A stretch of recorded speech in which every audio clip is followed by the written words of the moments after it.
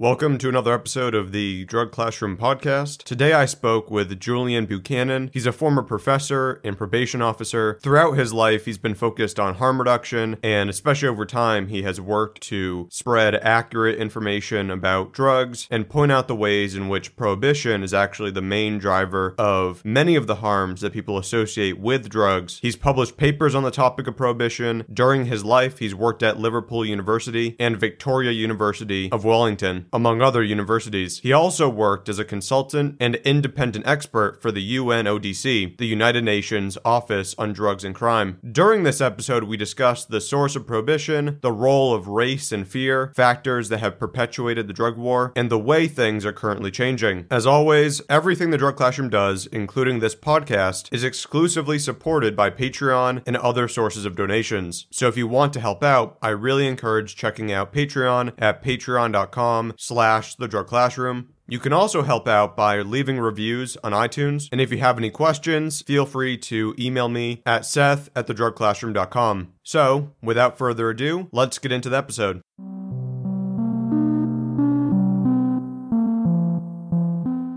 I'm here with Julian Buchanan. Julian, welcome to the podcast. Cheers. Good to be here. So, before we get into discussing prohibition and drug policy, can you just give a little background on yourself and how you got into the field? Sure, yeah, yeah. Uh, I got into the field uh, by way of being a qualified social worker, and uh, that was the qualification you had to do to become a probation officer. And I was a probation officer in uh, Merseyside in the 1980s, and uh, in the 1980s there was a, a major, what they called a heroin epidemic and it was particularly bad in in uh, working class, deindustrialized cities. So where I worked was was in Liverpool, and uh, that was hit really badly with lots of closures of shipyards and factories and uh, lots of unemployment. And all of a sudden, loads of the young people there started using heroin, and uh, there was a major uh, problem with heroin, and there, there had never really been. Uh, a, a mass working class use of, of drugs like like uh, heroin in that time, and uh, they wanted to uh, clean up and resolve and save people, and I joined in on that as a probation officer. Uh, but I soon realised that that wasn't uh, that wasn't working really. So that's how I then started looking at drugs differently, and they appointed me as a drug specialist in 1986, 85, I think it was, and uh, I then started looking at alternative ways of engaging with the problem. So there's a discussion there about abstinence and harm reduction, but uh, but it was that sort of baptism uh, into the problem that really immersed me in, in the whole drug scene, and uh, really since then, I've carried on uh, continuing to, to, to battle. And sadly, in some respects, some of the issues and the, the revelations and the work we did in the early mid 1980s and, and uh, late 80s are still just as relevant today because uh, in some respects little has changed. So I moved into academia and became a, an academic uh, after uh, maybe it's about 1995, 96. Uh, and I worked at different universities uh, in England and Wales, and then more latterly uh, finished my academic career at Victoria University in New Zealand. So all that work is at university. I've been doing research and writing uh, in respect of, of drug policy. What was it about the the situation that you initially encountered when you were working that made you feel like the way you were addressing the problem or other people were was not really going to be a solution to the issue of drug use and the effects on society? Sure, yeah. It was because the dominant approach uh, and the perceived wisdom at that time was abstinence. It was that we that it was that the young people, when I say young people, they'd be largely sort of fifteen to uh, late twenties, that they had developed a heroin problem and that they were going to die, and that was the perceived uh, understanding that that we needed to get people detoxed and we need to get people uh, drug free. and that I, I, was involved with that. Uh, I, I, was keen to, to do something positive and help. So, as a probation officer, when people committed crime, I was persuading them to become drug free. Uh, then I'd be uh, taking them to detox in Merseyside. Then I'd be driving them down to rehabs, to Phoenix House, to Inwood House, to Chatterton Hey. These are all different rehabs across uh, England. Uh, but they'd soon be back, and uh, it was doing them no good. In fact, if anything, it was doing them a lot of harm because people were people were being coerced to say things that they didn't really. I would say they were neither ready, able, or wanting to become drug free. But that was the only option for them, and uh, and once I pressurised them, as most people did, uh, they then have to tell a lie. So that you then put put people under pressure to live a lie. And, and then you raise the expectations of the court that they're going to become drug free. You raise the expectations of the family and friends that they're going to be cured. Uh, but they're not ready to for that step. Uh, maybe they don't even want that step. But in setting them up to fail, you've actually damaged them. You've damaged their opportunities. You've damaged their the position within the court. You've made it more likely that they'll go to prison, and you've offered them a type of treatment that that, that wasn't suitable and, and they weren't ready for. So, so really, it was a, a painful lesson in in being part of the problem and and realizing but also realizing that a lot of this stuff about drugs wasn't true. That that that heroin actually isn't damaging for the body. Uh, you know, at that time I had women on probation who were using heroin, and there was talk that they're going to damage their babies, and if they go on methadone, methadone would lead to deformed babies. You know that, that if you keep taking heroin, it eventually kills you. And all I realised as well that these these so-called uh, truths were, were, were, not, were not authentic, they, they were not real, they, they, were, they were misinformation and propaganda. So it was quite a, uh, quite a shock, really, at that time. And that's when I started moving into looking at the whole situation differently. Uh, and I think that one of the training events I went to was in psychology and looking at, at addiction more in terms of habitual behaviour. But then obviously the AIDS issue kicked in, so we started changing then towards harm reduction. So that's what really uh, led to the desire to, to want to do things differently. It seems there are multiple things nowadays that continue to contribute to focusing on abstinence and, and a prohibition model, but there's also a lot of talk about the the origins being fear-based and racism-based. And what do you think is the even if it's not the cause now, what do you think is the actual source of this kind of prohibition policy? Because obviously, if you go back a century, we weren't actually in the situation. It's not always been yeah. a prohibition model. So how do you think we actually got into this this kind of policy? Yeah, the, the, the policy doesn't make any sense. It's not rational. Uh, it's not based on science. Uh, it's it's not you know prohibition is not based about protecting people. It's not based around reducing drug use or reducing drug supply. We unfortunately keep mapping and comparing and measuring prohibition against those measurements. But they're not, in my view, the the reason or the aim of prohibition. I think prohibition is essentially about protecting vested interest and protecting uh, white lifestyles and privilege. Uh, so prohibition is really about the alcohol and tobacco industries protecting their own industries and to some extent the, the caffeine industry, but, but less so. But they're all three recreational drugs which can cause problems and all can also lead to death.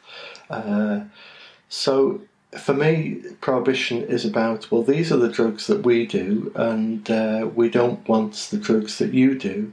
Uh, for partly to protect the, the industry, but also it's the fear of the other. So it's a, it's got racist uh, motivations behind it because the Chinese would lie down to smoke their opium. Uh, so lying down to smoke your opium on a, through a pipe is is culturally not the way we do drugs. And then, you know, it's some people be smoking cannabis, whatever. That's not what we do. And and, and all this. Uh,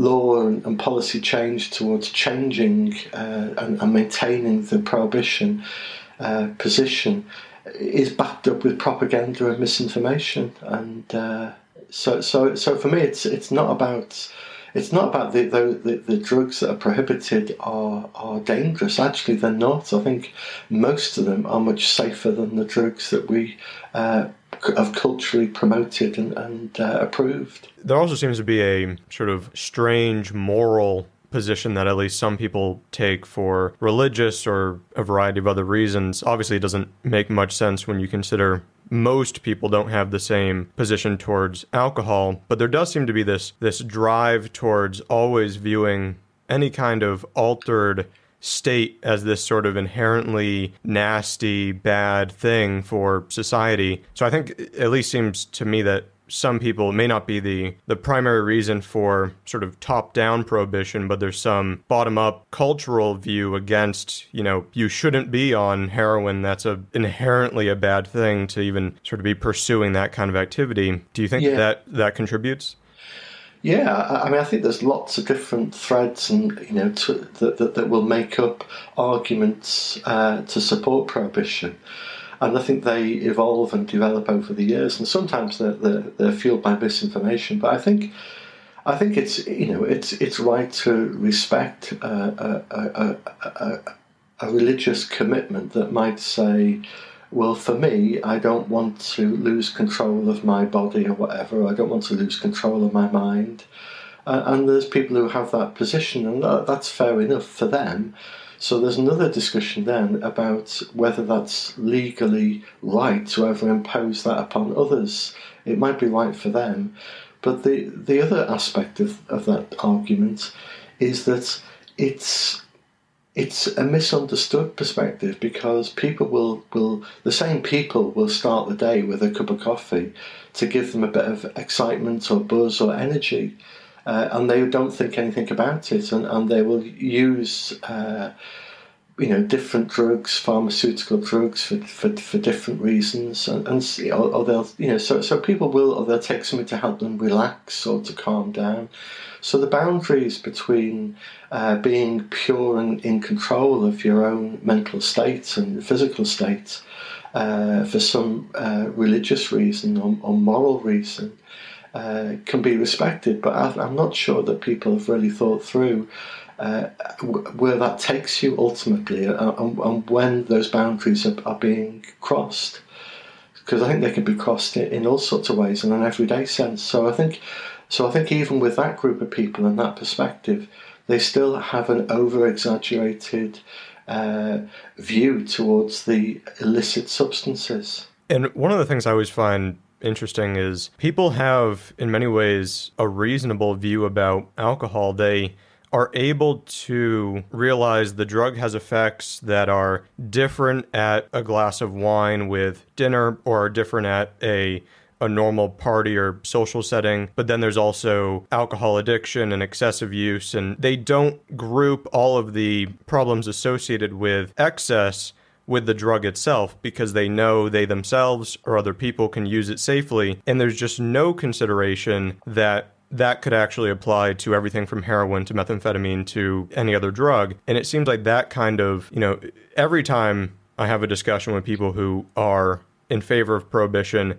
that seems to be the stance. There's just this feeling that among people that whatever is the worst possible scenario of heroin use, sort of a somebody without a home who steals to support their habit is exactly what you would see under legalization because it's inherent in the drug, which is sort of a amusing position because it's not as though heroin is actually more impairing for your inhibition than alcohol. If anything, it might actually not even be as severe. So I guess probably there's no specific reason people have this view. They just don't even think about it too often. But I've noticed it's a very common perspective. Yeah, yeah, no, I think it's a good point. Uh, but I think there is a reason, really. I think the reason is because of the forces of prohibition. You know, prohibition isn't a, a rational position. It's it's ideologically based, and uh, that ideology, in my view, is is found the foundation of it is not dissimilar to sexism or racism or homophobia. Uh, it's it's rooted in prejudice and misinformation and propaganda, and so it's not surprising that people don't feel able to talk uh, sensibly or rationally about methamphetamine or heroin or crack cocaine. Uh, and and they do feel able to talk sensibly about alcohol because their perception of alcohol isn't as tainted and distorted uh, by the by the stereotypes, by the misinformation, and it's pretty it's pretty uh, all pervasive and relentless. Uh, the, the levels of, of misinformation which are, are being drip fed permanently uh, to the population so that when they think of, of, of methamphetamine or when they think of heroin, they think of the worst case scenarios. And as you say, that then, that, that 3%, and I think it's you know roughly sort of 3 to 7% of any substance will lead to problems. Uh, for three to seven percent of the population, but they see that as being what all people who use crack cocaine or, or, or ice or whatever uh, look like. So it's it's distorted. But like you suggest, I do believe that, that anybody that any drug can be used recreationally. That that it that the real issue is to do with the, the set and the setting, uh, not the substance. So so you know we do see people who, as you say, are a complete mess on alcohol, and it is a really damaging drug. Uh, but but the same would be true for virtually any drug. Really, there are some people who develop major problems with almost any drug. You know. So, but it's not so much to do with the drug. Drugs do have certain properties, yes, but it's much more to do with the, the, the journey, the background, and the individual and, and their social circumstances. There's also a significant overestimation, it seems, about the connection between drug use and crime. And not that there isn't a connection, but really the factors that seem to be responsible for the connection are not ever really considered. It was it would seem to me that prohibition contributes to a much larger amount of crime, you know, especially if we take it beyond the West and consider the impact of prohibition on South America and Mexico and other regions. And and that's actually a part of the discussion that never seems to get into people's minds too much is this idea that you want to keep people from using drugs for some sort of vague societal benefit is having massive consequences in other places but the the frequency with which I hear Mexico or or Brazil mentioned in this discussion is is almost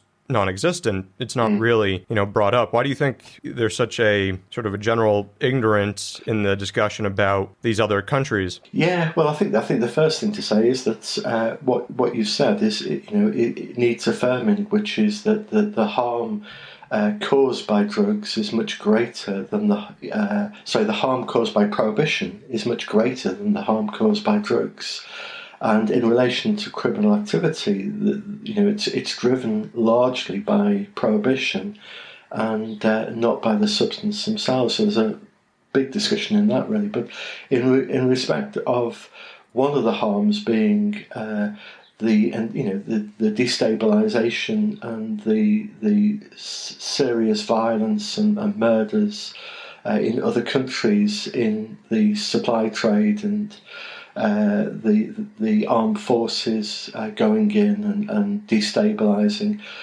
Why isn't this talked about as much? Uh, I, I, guess for me, I'm, i suppose I'm disappointed in some respects, uh, uh, although I shouldn't really be surprised, is that I think the drug reform agenda tends to reflect the individuals leading those movements and so it so it tends to reflect the, the vested interest. So so we don't tend to have the same empathy and the same uh, interest towards other countries. We tend to look at the people who are like us And so I think most of the drug reformers, you know, are white middle class people, uh, not from those countries. So, so unfortunately, the, the needs of, of uh, often developing countries uh, are, are, not properly represented, and, and the empathy and the care isn't there in the same way. And there's actually been some positive change in these areas. It seems as though there's at least some countries, I believe Mexico and perhaps Peru, moved towards decriminalization. And part of it was for reasons like like coca and stuff like that that has a cultural connection, but there's also been this this growing movement among people in Central and South America to change the drug laws. And I've heard like the amount I'm aware of that situation, but the amount of information from those areas that actually bleeds into the discussion in the US or England seems to be very minimal, which you would think there would be a greater interest in it because you have an entire sort of entire countries in some cases that seem in favor of reform because they are experiencing a, a level of harm from this policy that we don't even consider. Although I'd say even in countries like the US, gang violence is also heavily connected to prohibition. So there is some of that, but also most people do not live in areas that are affected by gangs. So therefore, there's also a disconnection even within your own country. So it seems, I mean, this applies to many areas, but it's sort of a out of sight, out of mind issue and, and nobody's internalizing what this desire to prohibit drugs, you know, does to other people even when those people are are in the media screaming at the West, saying, you know, please let's you know come to the table and change this, but they're even somewhat restricted because of international drug controls. And I'm not entirely familiar with how international controls impact domestic policy. Are you more uh, familiar with like how the UN's position impacts what countries can do? Uh, no, not really. I mean, uh, basically, uh, countries can do what they like, uh, as, as I understand, but the UN will just exert pressure. So I, I don't think there's much that the UN can ever do ex- apart from exert pressure. So I think most of the threats to the developing countries comes from the more powerful countries like the US or the UK uh, or Europe exerting economic and political pressures on the developing countries. So I think it's it's less to do with what the UN can do or would do, but more to do with the political pressures that might be uh, placed upon countries like Peru or Uruguay or whatever. Uh, from the big countries, so there can be economic sanctions which could cost them dearly. So I think it's so it, we talk about the UN, but I think it's much more about uh, the, the, US and, and other major players within the UN. But uh, and you think Go ahead, yeah. You think that desire from the US and other countries to exert that kind of power probably comes from economic interests, from lobbies, whether it's prison guards or or from lobbies for other drugs, alcohol, tobacco. Is that where you think the the pressure is coming from? Yeah, why do the US feel so strongly about uh, prohibition, uh, uh, and why would they want to exert that? Well, I think. I guess it's it's it's multi-layered really, and uh, uh, there's obviously a lot of uh, investment in security services and armed forces, and there's a lot of ability to invade and mobilize sources in other countries under the guise of the drug war. So I think that's that's part of it. You know, military force and invasion and uh, uh, maintaining control, and then I think the other side is is maintaining the huge uh, industry of alcohol, tobacco, and uh, and caffeine. So so I think it's it's, and then I think the other side is is that you know there is great political uh, benefit in having an enemy, and so you know countries have always liked to have enemies. So the enemy might be the commies, it might be the terrorists, it might be drugs, it might be the immigrants, uh, and and while countries can have these threatening enemies, then the country can rally together and uh, and gain some sense of of nationalism or patriotism or or unity in in fighting this uh, enemy who threatens their lifestyle. So I think drugs are also part of, of that agenda. that, that, that they, they, they are, are demonized in a very personalized way as a threat to your children, as a threat to your daughters, as a threat to your, your family, your neighborhood. And we need to rally together to, to keep this war going. So, so I think they have a lot of political benefit as well.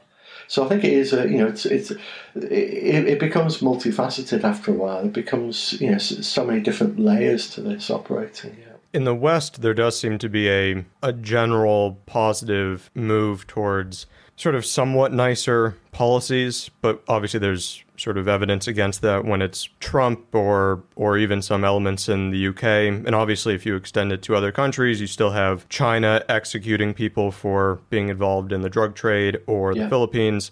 Where do you think the world stands, and then more specifically the West? Are we are we really moving in a positive direction, or is the the progress a bit too ephemeral and, and not really taking hold? I think we are moving in the right direction. So things are getting better uh, in terms of and I think I think one of the reasons why things are changing is because of social media. You know, here's here am I in New Zealand, and uh, here are you in the US, and we're having a conversation, and this will be later published on the web, and people will access that uh, from all over the world. And so I think that wasn't available, uh, you know, 15 years ago. Uh, people did not have the access to the internet in the way that they do now uh, and there wasn't the, the software and the facilities available to, to disseminate information. So I think you know we, we've been talking about the way in which uh, prohibition is rooted in in racism, propaganda, prejudice, misinformation. Well, now with social media, we're beginning to erode and challenge an awful lot of that uh, flawed position. And the ordinary person who, perhaps hasn't got much of an interest in drugs, but, but bought in to the, the whole uh, dominant discourse is now in a position where they can think, I'm not too sure about what's going on here. This doesn't make much sense. I've just read this, I've just heard that, I've just watched this video. So I think people are now gaining a lot more information through social media. So I think that is a is a major force an opportunity for, for social change because uh, you know, as I said at the beginning, I've been involved for four or five decades, really, since, well, certainly since the 80s in drug policy. And what hasn't, what, what has been very frustrating is the number of inquiries, reviews, committees, meetings, and uh, research, uh, and they hardly ever lead to any significance or real change. Whereas I do think if things come from the bottom up, then they, they, politicians will be forced to change. So I think that's a very encouraging move uh, of late.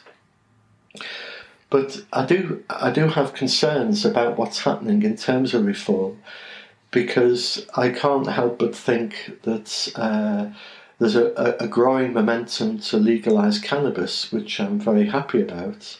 But I would want to see prohibition ended, not not one drug picked off at a time, because otherwise, what we, all we're doing is is inviting cannabis to join the the prohibition table, uh, the top table from the elite drugs that have been approved. You know, so you have the pharmaceuticals and the uh, alcohol, tobacco, uh, caffeine, and perhaps you could say sugar uh, sitting at the table now with and cannabis joins them, and they maintain prohibition against all the other drugs. So. I, I worry that uh, that we're not actually tackling the root of the problem, which is uh, uh, prohibition, and that all we're doing is inviting cannabis to the table, and companies will move in and make a lot of money flogging cannabis, which is what they've been doing with with alcohol and uh, tobacco and whatever. I've had a similar serious concern about cannabis legalization. Obviously, like you, I'm in favor of it, but the the arguments that have been used to to support that kind of policy change, whether it's medical applications or it being safer than alcohol or the seemingly benign nature of the drug don't seem to be very helpful when you consider switching to then focusing on heroin or methamphetamine because you're going to have a much harder time making those arguments. Whereas if legalization was coming from a desire to improve human rights or improve the state of other countries, source countries, those things have not received too much attention. It's really been on how benign cannabis appears to be. And I wonder if that kind of boxes in legalization advocates because you can't easily make the same arguments for other substances. Even if you can on a technical level, it's going to be harder to convince people, you know, we should legalize heroin because it's safer than alcohol. Even if that were the case, it, it would still be harder than cannabis to try to make that sort of move. Whereas a human rights perspective, just simply should the government even be doing this to begin with, would be a very nice argument. But I've, I've heard very little of that when it comes to cannabis. So I'm I do wonder if if uh, it's going to be hard to make the transition to other legalization attempts. Yeah, yeah. Well, I think it could actually make it harder, really, in some respects. Yeah, yeah. I, I, I think that's right. It, it, worries me, and I think some reformers who you know I know well. Uh, I, I, I pursue a human rights argument and, and and say that we should end prohibition. That's where that's you know that my my perspective is that uh, what what what you do with your body, what you how you what you ingest is is your choice, and there is no way that it should be against the law, or, or you should be punished or stigmatized or incarcerated uh, over your choices about what you consume. And uh, that's that. That goes for any substance that you choose. It's your body and it's your choice, and that for me uh, should be a basic human right. It's not really enshrined in the Universal Declaration of Human Rights, uh, published by the UN, but then it's the same UN that also have outlawed these so-called drugs, and uh, you know the the the, the drugs is just a social construct. It's just a, a list of substances. It's it, there's no basis to those drugs. So, so what's in the UN isn't exactly always uh, good good sense. But going back to your point about uh, the, the, prohibition, so trying to dismantle things uh, by way of legalizing cannabis and, and saying that cannabis uh, is is not as harmful as alcohol. I think reformers are, are trying to be pragmatic and trying to find uh, leverage and, and ways of managing pragmatically to persuade people to bring about change. I think I think there are people who are doing that for good reasons, uh, sincerely trying to tr- trying to find a niche and an argument. But as you say, it's a flawed argument, and, and I, I really don't buy into it at all, and it really uh, annoys me because we are shafting ourselves. Really, it's it's in in my view. I suppose I've I've, I've said elsewhere. It, it's a little bit like trying to fight sexism by saying, you know, women women might be hopeless bricklayers, but but sexism's wrong. You know, the, when you start buying into and colluding with with with the the the the, the discrimination and, and the flawed uh, understandings that exist, you, are just you're fueling the problem itself. Uh, so so, but it also worries me that that there will be a, a major movement towards cannabis, simply because. Again, it's what a lot of white middle class privileged kids are getting caught up with uh, the risk of a conviction and then there's the, the, the, and then there's the the respectable needy people who've got medical needs uh, might benefit from cannabis. Uh, and then you've got the business opportunities. So for me, it's it's just playing for uh, the easy targets when really drug prohibition is damaging the poor, the indigenous, uh, the people of colour. They're the people who are being really shafted and damaged by prohibition. Uh, but but I don't hear I don't hear the calls to alleviate that damage. Um, we're just seeing in reform uh, easy targets being picked off to try to dismantle aspects of prohibition which will benefit the white and the privileged.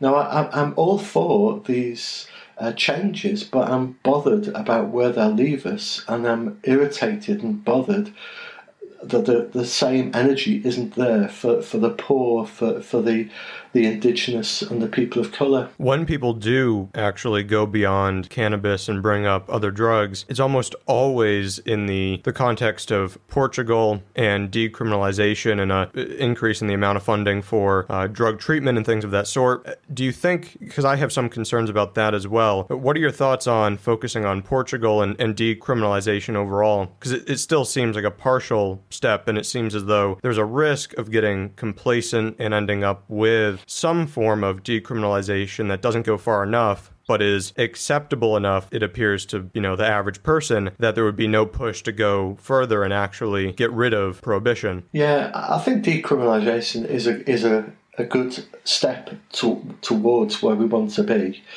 Uh, so, so that's good news, I think, to decriminalise possession of all drugs. I, I, would make sure that we also decriminalise uh, gr- growing and producing drugs for personal use as well.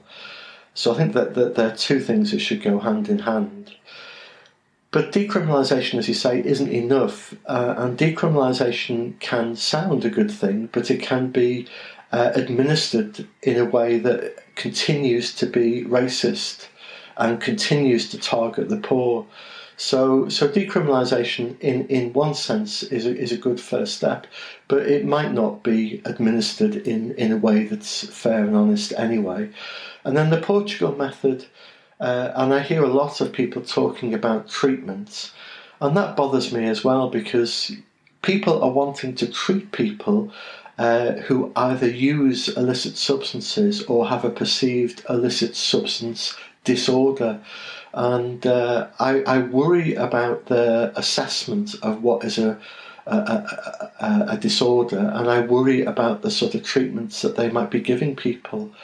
Uh, so I think, again, there's a whole pile of business interest in in the whole treatment and monitoring of so-called addicts or people with a, a substance disorder. Uh, so, so, so you, you, you, there's no, you're not out the, you're not out the woods. You, we're not. We've still got masses of issues to deal with. Uh, when we tread, you know, into decriminalisation and beyond, and yeah, we, we need to completely legalise uh, personal possession and uh, growth and cultivation of all drugs for personal use. That's one thing that has always really stood out to me is it sounds like a great slogan treating drug use as a medical issue, not a, a criminal issue, but it still has this impact of elevating drug use to this level of always being a undesirable or dangerous thing. And so you end up with a situation where you are medicalizing and in some ways stigmatizing all aspects of drug use, even though it, there, as we were saying earlier, there are tons of people for whom this is simply a recreational activity and they it would not actually actually be ideal for them to be you know bugged by the state and pushed into treatment. They're simply using drugs in their home and they're not causing anybody any trouble. And yet this is actually a supposedly nice good respectable slogan and call from drug reformers and I can see where it's coming from but it's sort of whenever people are drugs in that way and giving them so much power, it always it always worries me about how that impacts the general view of drugs. Yes, yes. It, instead of telling it as it really is, uh, we end up uh, perpetuating a lot of the myths that, that, that have been under prohibition, uh, only to replace it with prohibition too.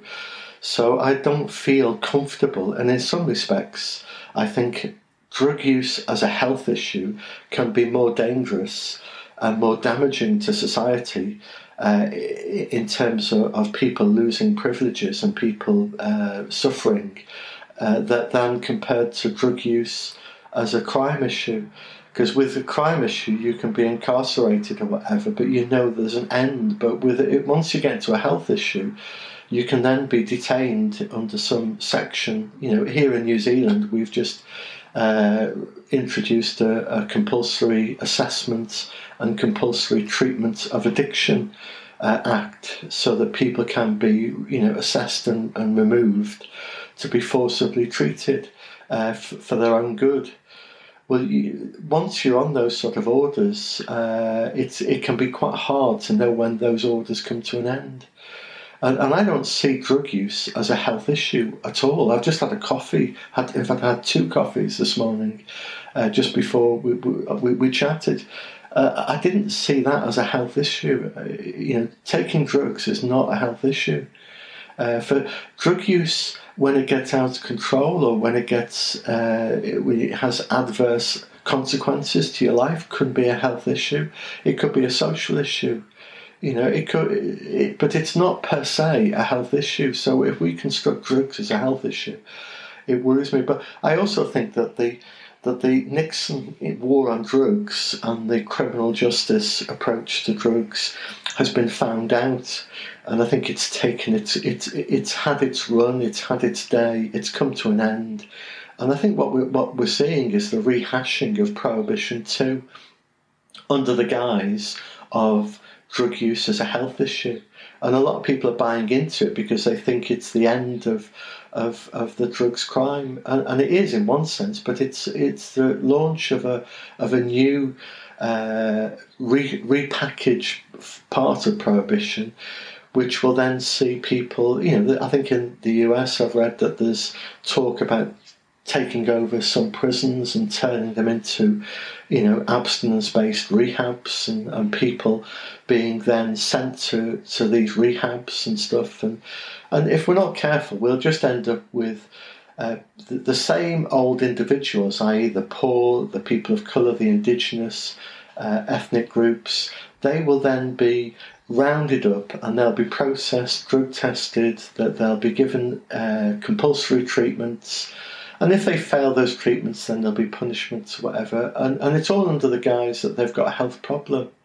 So, so I think we, we're going to be quite worried about uh, going down the road and saying that, that drugs is a health issue. Even if it was a health issue, it would be a very strange way to treat a health issue. It'd be like, I mean, even if even if every case of drug use was representative of some sort of psychological disturbance, it would be akin to going around and, and rounding up people with depression or anxiety or even psychotic disorders, even if they've done nothing wrong to other people, and saying for their own good, clearly they're suffering. So out of a sort of act act of compassion, we're going to force them into some kind of treatment. And this has happened throughout history, um, but it seems to come from when you're both viewing it as a health issue, but also still stigmatizing and viewing the person who is engaging in the activity as the other. And there's been so little, so little interest in hearing from drug users. It's been still a very sort of top down view, even from reform people to just sort of analyze people who use drugs and figure out what's best best for them. And it's kind of this, you know, it can sound good at times, especially when you compare it to being locked up or something for a long period. But if you really think about it, it's like, well, this is somebody else's life. I shouldn't really be interfering in that way. Mm-hmm. Should probably find out what they want and then help them with it. Yeah, yeah. The, the, the lack of involvement, and, and I think I get most uh, sanity and, and, and rationality in, in discussion about drug reform uh, from the drug using uh, organisations, you know, the, the, the people uh, who inject or use drugs, the PWUD groups, whatever, internationally and nationally, they, they often speak with a lot more sense on the issue, and, but they're not included, and you know, they're, they're the users. Uh, and you know, for myself, I've never ever used an illicit drug, uh, so I, I, come at this whole issue from uh, a personal professional, you know, having worked in the field and uh, having seen the damage. But the but the users themselves are, are so poorly listened to and represented. And, and, certainly the research I did, you know, has been often uh, through listening and, and, representing and giving a voice, you know, qualitative research to, to drug users themselves, because I think they're the people we need to gain our perspective from. You know, our, our views need to be informed by their lived experience. Uh, but I don't think they're that they're prominent enough, really. Yeah. But when you say like, oh, pe- people having a health problem and they're being processed by by the system. I, I, I think the uh, people who've got eating disorders and people who are obese are the next people who will be subject to similar regimes. So I think that's probably the, the easiest or best analogy because I think that I think there'd be a growing stigmatisation of those people, and then there'd be a move towards more compulsory health treatment for those people. but it doesn't deal with the problem uh, in terms of it, we say now drugs is a health issue, and uh, we, we, we then settle, say, in five years' time, nobody thinks it's a criminal problem or whatever. But we haven't dealt with the fundamental human rights issue and the misinformation about drugs. People are still thinking, you know, all these crazy ideas like, you know, crocodile eats your flesh and uh, bath salts make you eat other people's faces or uh, crack turns your babies into retarded babies. And there's all this mad information which is untrue and unfounded. And we're, not dealing with any of that. We're just now saying drugs are a health issue but we carry on with the same uh, ignorant perspectives and uh, and, and, really prohibition continues. And really, we we need to be challenging and ending uh, this this awful regime, which is.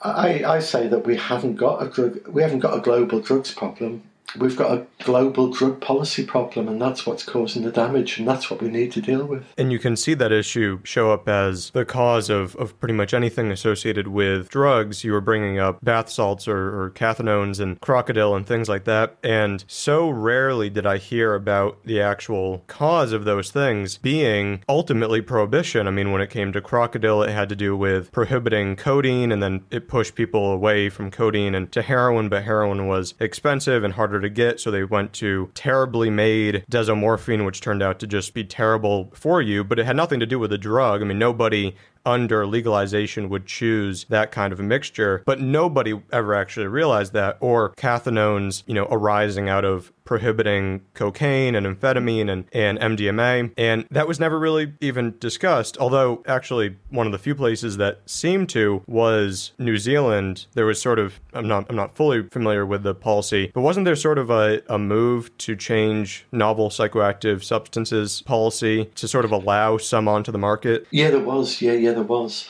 Uh, and that's an interesting discussion, really. Uh, yeah, we, we we had the Psychoactive Substances Act uh, of 2013, and uh, it depends on which way you see this. Really, you can see it as a very progressive mood move towards regulation. And uh, what what this previously what's happened in most countries is that every time a new drug comes on the market, it, it gets eventually added to the Misuse of Drugs Act and becomes banned a banned substance. So unless it's on the list, it's not a banned substance. So they had to go through the process of adding the drug to the list so it becomes banned. Not that banning ever achieves anything, drug use carries on just the same, uh, whether a drug is banned or not banned. But, but the politicians uh, masquerade as if we're doing something positive by banning a drug. Uh, so it becomes a lengthy process, and once a drug is banned, then the the chemists tweak the, the drug and then its chemical structures change slightly and then that then is no longer the banned drug because it's a different drug. So it becomes an endless cat and mouse game and uh, New Zealand uh, had an idea of regulating uh, these so-called legal highs, and that, that's another discussion. Is all these strange names that we have for drugs, you know, narcotics, hard drugs, soft drugs, uh, psychedelics, legal highs, uh, and then we have other non-drugs. It's all it, it becomes a tortuous. Uh, map of nonsense, really, trying to make sense of all these different uh, categories. But these legal highs are basically, you know, chemical drugs manufactured and uh, so this this this Psychoactive Substances Act meant that the legal highs which were being sold in corner shops and uh, in in markets and places, uh, they would all be made illegal in one single act, and and I think this is very this is this is a worrying human rights issue because prohibition is is is bad news but what prohibition does is it lists uh, drugs that it's against the law to take. So if it's not on that list, you're free to take what you want to take. Whereas what the Psychoactive Substances Act did is it's is it said every new psychoactive drug that's ever dreamt of or that will happen in the future is illegal before it's even invented. And it'll only become permissible to use when the New Zealand government approves it, if it approves it, and it will only approve that drug if it's regarded as safe. So that raised all sorts of issues around uh, human rights and uh, raises issues around who defines and what is safe.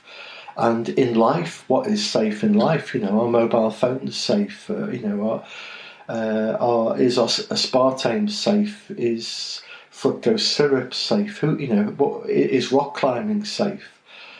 Uh, so, so this this Psychoactive Substances Act created a regulatory regulatory framework which it would approve certain drugs, uh, legal highs, and so it did allow a number of legal highs to stay on the market uh, as being temporarily approved.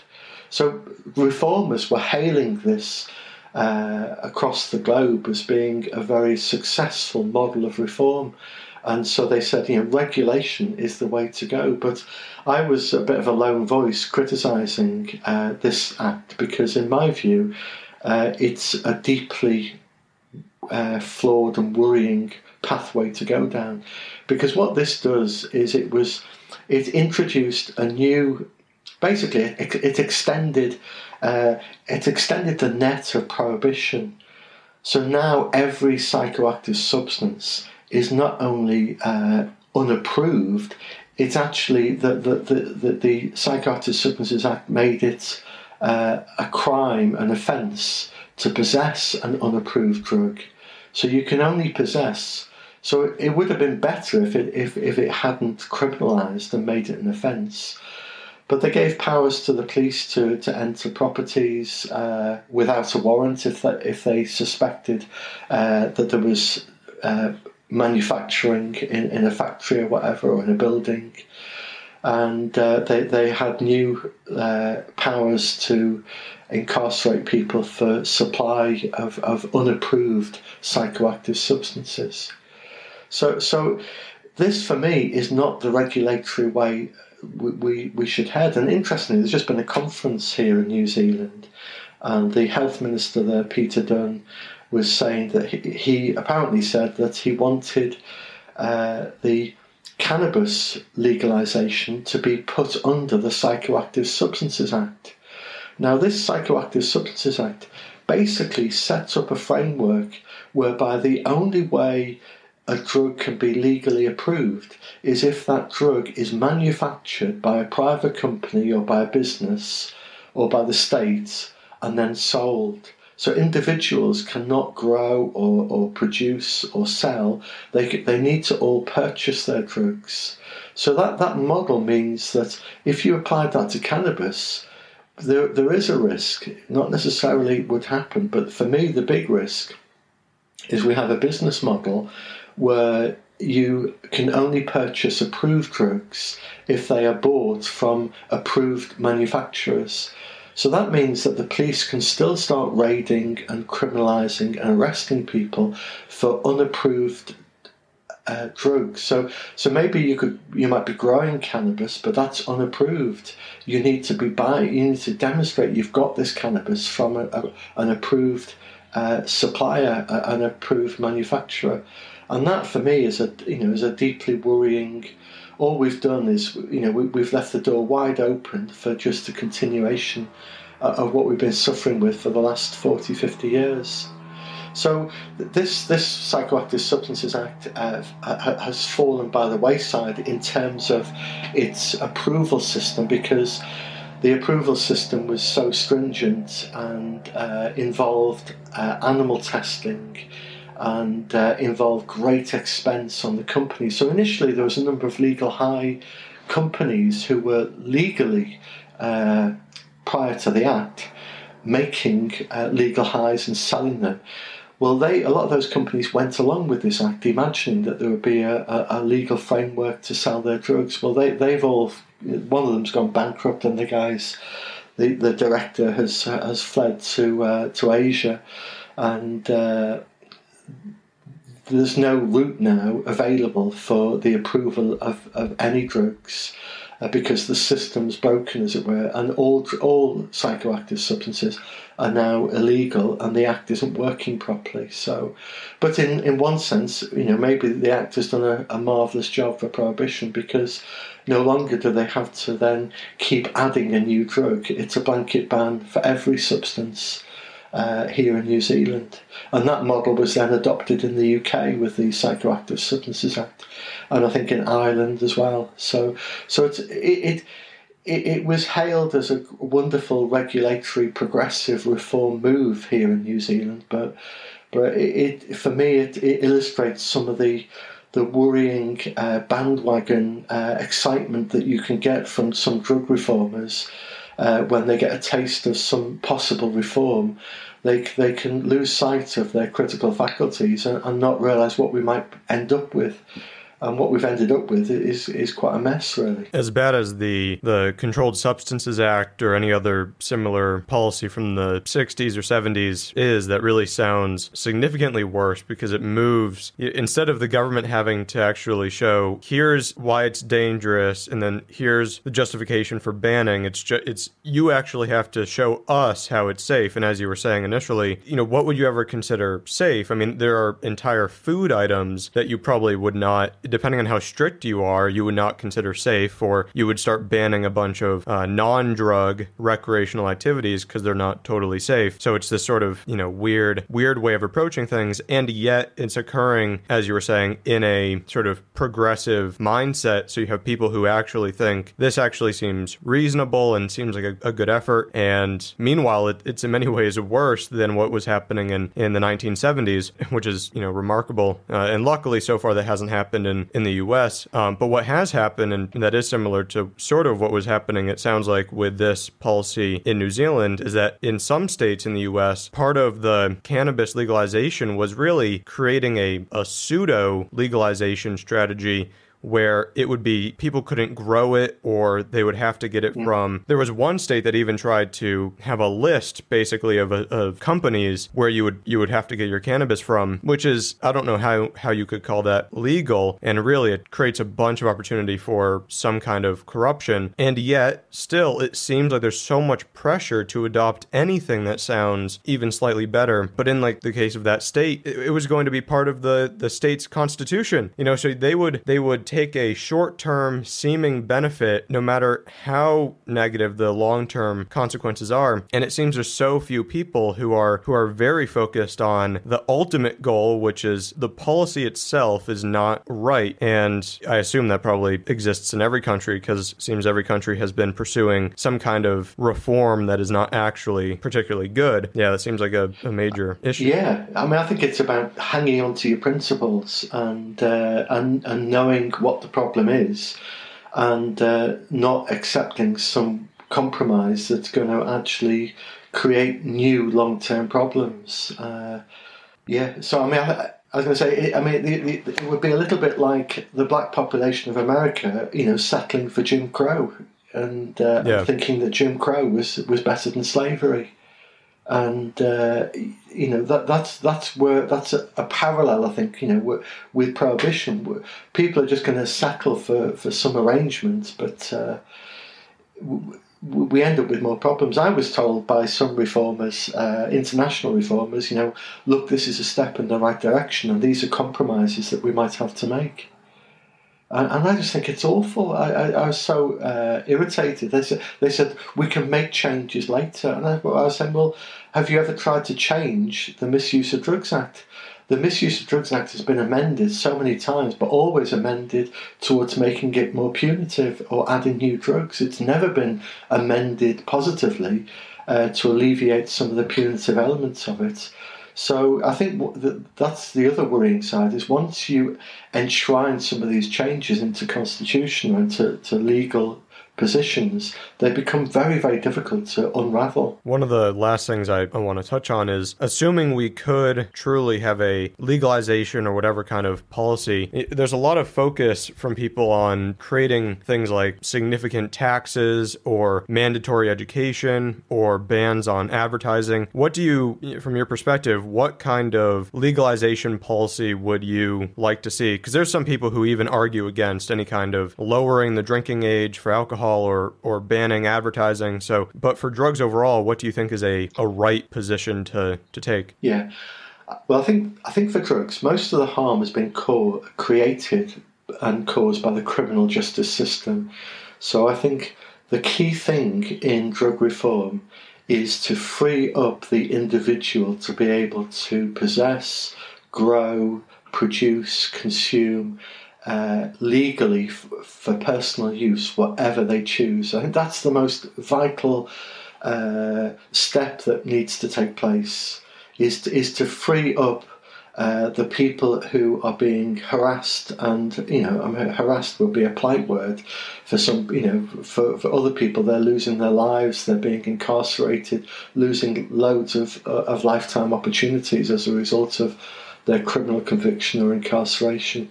So, so it would, be wonderful to to ensure that that became a complete freedom and a human right. Uh, the other aspects of legalization uh, would be that I wouldn't want to. Prom- basically, I, you know, in, in my dream world, I, I think that what we've done with alcohol is a complete mess, and I don't think we should be promoting alcohol, any drug, the way that we promote alcohol. The sponsorship and the the cultural accommodation and promotion uh, of any drug, like the way we, we have with alcohol, that it's the it's the drug. You know, I can go to a conference uh, which might be against drugs, and I can speak, and then uh, you know, or I might launch a book or whatever, and then at the end of it, you know, everybody drinks alcohol, and it's like it's like we have a bizarre uh, every every occasion you have, you, you, you, need to go and celebrate and enjoy alcohol. I, am I'm, I'm all for people enjoying their drugs, but I think we. So I suppose what, where I'm going with this, and I'm saying that look, we've we've got laws, but we've also got cultures, and we have created a culture. So I think we need to think not just about laws, but our cultural accommodation of certain of, of the way in which we do drugs. So I'd love to see all drugs available for anybody to use. I, but I'd hate I'd hate to see them heavily advertised and promoted and sponsored, you know, through through films, through uh, through shirts, through you know TV media that this is what you should be taking. Uh, I mean, drugs can cause people problems, and, and they do. But as as we've said, most of the problems are caused through prohibition. Uh, but most of the people who have problems with drugs are people who had major problems before they started taking drugs. I think that has to be borne in mind too. So I'd like to I'd like to see drug I'd like to see clean legal supplies of drugs of any drug being available uh, through pharmacies uh, and through other clubs or pubs. But I don't want to I don't want to see them peddled as an appropriate that if if you if it's your 18th birthday, your 21st birthday, if it's your marriage, if it's your baptism, whatever it is, the thing to do is to get hammered with this particular drug. I don't want to see that level of of uh, cultural accommodation, and I'm all for taking drugs. And if people want to get hammered, that's cool and that's fine. That's their choice. I don't have a problem with that. I just have a problem with with these dominant uh, mindsets telling people what they should do and what would be suitable and what would be a, a, the best way you should do stuff. So, so yeah, there's legal stuff, but there's cultural stuff as well. But legally, I'd like to see everybody uh, being able to get a clean legal supply. But I'd hate to see that being the only way that you can get drugs. I think there should be social clubs you know, so if I want to, if I, if I want to make my own beer, I can make my own beer. If I want to join a society or a little group of people who make beer, I can go and do that with that group of people. We can perhaps swap our, our home brews together. And I think that could be the case for any drug. And yeah, we, we need good information. People do need access to information. And we just tell people the truth about the risks of drugs. Nobody wants to harm themselves. The people who want to harm themselves have, have obviously got you know major issues in life. Uh, but but the vast majority of people just don't want to harm themselves, and they want sound information, and they want to know the risks, and uh, and the, the most dangerous drug really uh, is alcohol, and uh, we've learned to live with that in, in, in a way that, despite it being heavily promoted and twisted and distorted, and a lack of competition, I'd like to see a uh, a legalization where all drugs, because if we can cope with alcohol, we can cope with any drug. But, but we need the we need the sound uh, health information out there, and we need support services but not to not to so-called treat people. Yes, some people will need help, but but we need support services that, that don't stigmatise people, that give sound information, that allow people to check stuff, that allow people access to uh, clean needles, allow people access to naloxone. Uh, and that when the, if people who, develop addiction that they can get help with their addiction. But most people who develop addiction problems grow out of it or move out of it. Most people do.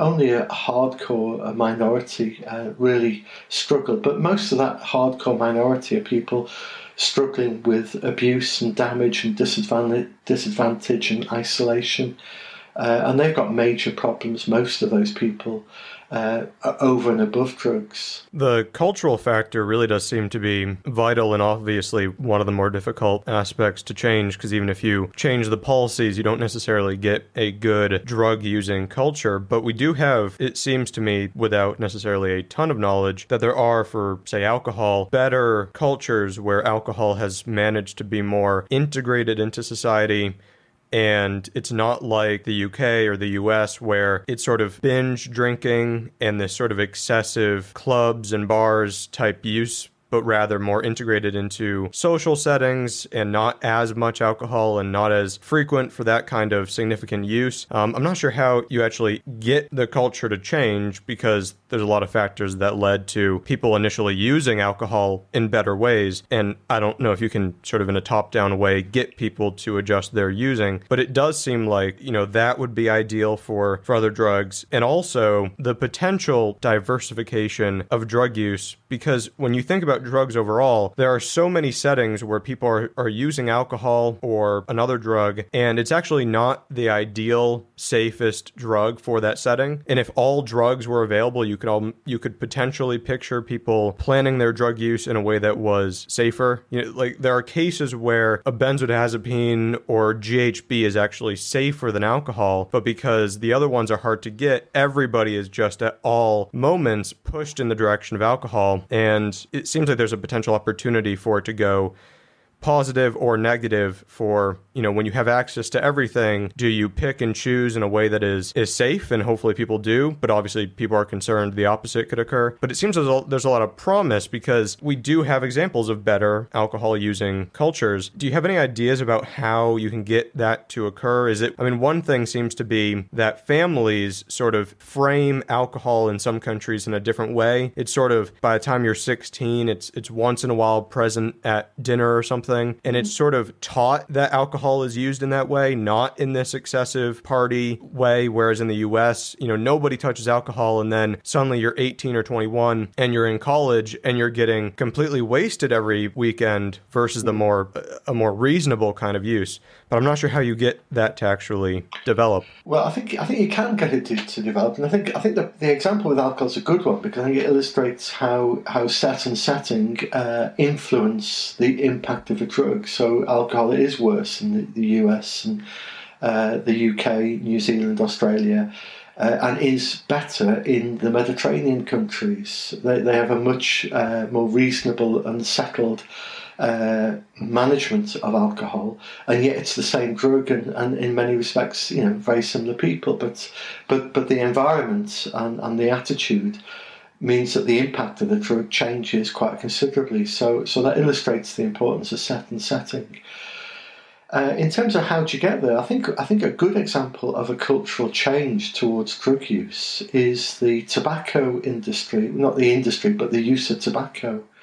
And I think we've seen over the years quite a shift in, in tobacco use. And I think a lot of that's come through health education uh, through campaigns and through regulation. So I think part of the problem we've had with alcohol has been created by uh, alcohol laws which have prohibited. Uh, so I think here in New Zealand years ago they, they had this no drinking. I think it might have been after six o'clock or whatever. Uh, I'm not sure. No, maybe I, that, that wasn't true. But there was there's a thing called the six o'clock uh, swill, and but basically when you have when you have time limits to drinking, so you say that nobody must nobody can drink after this time, or or nobody can drink during this time, then the legislation itself is creating binging and so you can you can create cultures. Maybe you don't intend to, but but laws which do things like that that that that, that ban drinking over a certain period of time, or, or or say all drinking must stop at ten o'clock. Then then you're creating uh, a, binge drinking situation uh, that, that, will occur before that cut-off time. So, so you, so what I'm saying is that regulations do influence the way in which cultures are, and health education, and attitudes, and, and uh, stigma, and the the way in which we see drugs will, will affect things, and that will come through all sorts. But but going back to your, your other point as well, which is that people, if they have choices, will choose other drugs. You know, I, I, as I say, I've, I, have not I've not used an illicit substance, but I would if it was legal. I, certainly would. You know, at the minute I'm drinking a reasonable amount of, of alcohol and red wine, and that's that's our drug of choice with, with caffeine. And uh, but but really, on some evenings, it would be much nicer to go for a different drug. You know, I think uh, from what I understand and what I've, I've learned, I think you know cannabis and ecstasy would be a lot more pleasurable and, and sociable to enjoy, and much less damage to my body if it, you know if I can get a clean, regular supply, than uh, than alcohol is doing to my body. So I, I don't think people i don't see why i would you know the, the people worrying that if we made all drugs available I don't understand why anybody like me or anybody else, and I'm no different to other people, why I would choose to do something more dangerous and, and more reckless. I, you know, you wouldn't do that, and, and you know, i if I, if I was out for an evening, you know, a, uh, if I was if I was with a group of students or whatever, and I was in a, a club at night, if everyone was off their heads on alcohol, I'd actually much prefer to be with a group of students off their head with heroin or with uh, benzodiazepines or, or, or, with ecstasy or cannabis and with alcohol. Uh, so, so I think the the range of drugs, if, if legalized, people would make more sensible choices, and, pe- and young people do. You know, I mean, not just young people, people do. But in terms of, of culture, you know, there's a whole scene of people who will go and do acid or go and do a, a bit of coke and ecstasy and cannabis. And those club scenes are usually a lot more uh, friendly and less threatening and less sexist and less less abusive than those similar environments where people are just tanked up on alcohol. So I, I don't really see a logical argument that making drugs legal would lead to people making reckless decisions or reckless choices. I think people would make sensible choices. You know, I mean, there will be a minority that will make some foolish choices, but that minority will, will continue to make foolish choices whether drugs are legal or, or not legal. Uh, but the, the majority of other people who are like that, if uh, you know, student halls here in New Zealand, like other countries, I suppose, have got a really serious alcohol problem, and and with that comes a very serious uh, misogyny and, and sexist problem where where girls, you know, are at risk of being sexually abused and, uh, and in some cases raped. And a lot of that is linked to alcohol and, and linked to the whole culture that goes with it. Well, you know, I wonder what would that be like if uh, if other drugs were, were available and those people were not tanked up on alcohol. The uh, the last thing I wanted to touch on is for people who are listening. One of the things I often hear from people who are familiar with the drug classroom are they ask, you know, how do I get my my parents or my family in general or friends to change their perspective. And it, that would contribute to this sort of bottom up change in getting sort of a, a ground level support for reform. You know, how do you think those conversations can happen? Um, you know, what do you think people should say? What arguments can really be made um, to try and get this to, to spread? Yeah, yeah. I, I mean, I've, I've faced this a lot, you know, lecturing to, you know, 100 or so students, and uh, some of them have a very fixed view before you begin your lecture, and uh, they're going to do a whole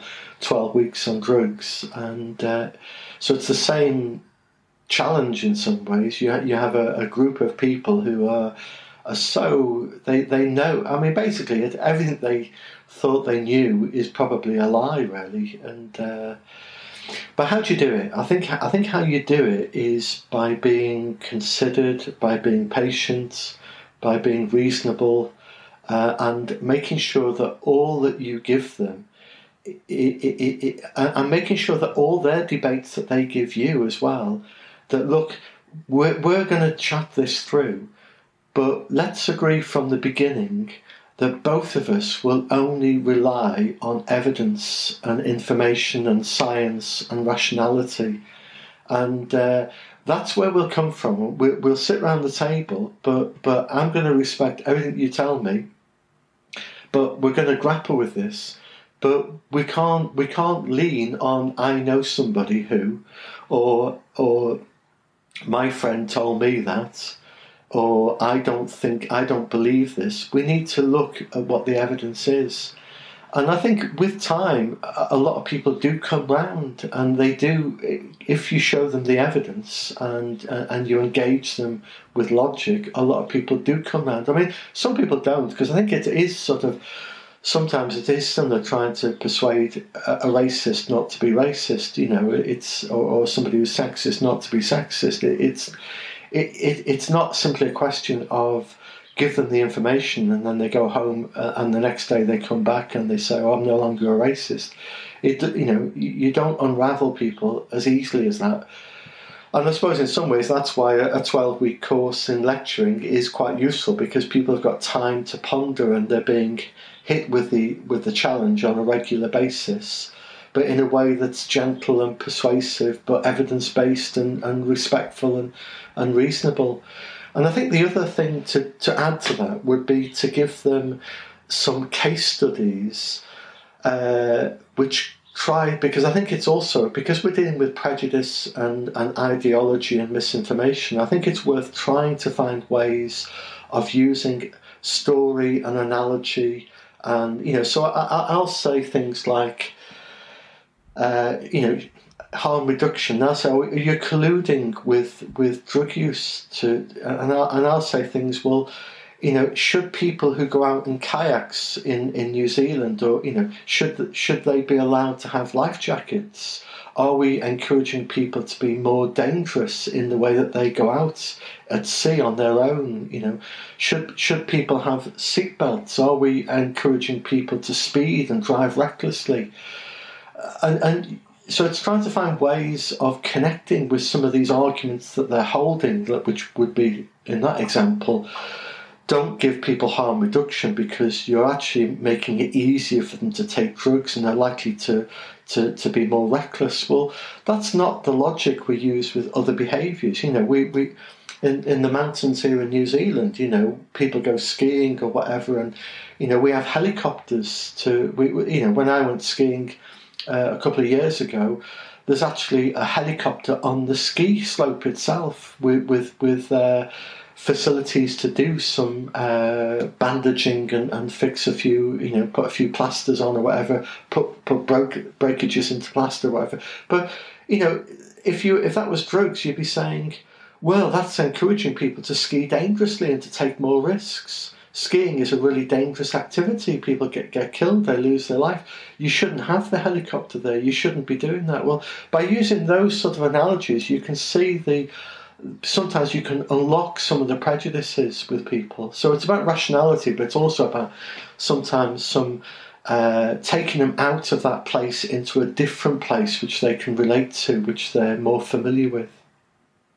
But it's a hard one because I think we are dealing with we are dealing with with ideology, and uh, it's it, we're dealing with something similar to racism and sexism, and those things are not changed simply by information. It's, it takes years, really. Yeah, it does seem as though the recurring problem is the is the elevation of, of drugs as a special activity. Where I, I've made a lot of the same arguments as you were just laying out, and often it does work. And then occasionally you have the people who will just scoff at the idea that you can even compare a non-drug activity to a drug activity. But if you really try to break that down and analyze how they got to that position, it's really just from you know they never. Considered that prohibition or that prohibition was a bad policy or that drugs could be safe. So it just seemed like a absurd position to have, which sometimes you can get people to change their views. But there are these very ingrained positions that are hard to have a rational discussion about because it often is just anecdote that people rely on or a news story about some drug user did some certain thing and never are people really going to the data because there aren't really any any good papers that would talk about the benefits of the current policy. Uh, there really just aren't. The entire from the 1960s onward, there have been the scientific or public policy literature that pretty consistently supports a different policy. So clearly, it's not ever coming from a, a rational point of view. Mm-hmm. Um, but it is true, and, and luckily it is the case that if you have that kind of rational discussion, a good portion of people will realize, you know know, this isn't about enabling or encouraging. It's about just, you know, recognizing,